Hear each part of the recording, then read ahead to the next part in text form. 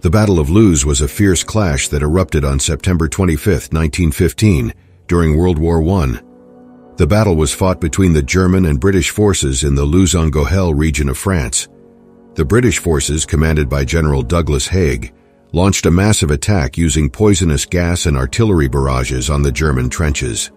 The assault was successful in the beginning, but the British advance quickly slowed down due to a shortage of ammunition and the German counterattacks. The battle was marked by intense fighting in the midst of poison gas, barbed wire, and craters caused by the heavy shelling. The British suffered heavy casualties, with around 50,000 soldiers killed, wounded, or captured. The Germans, on the other hand, lost around 25,000 troops.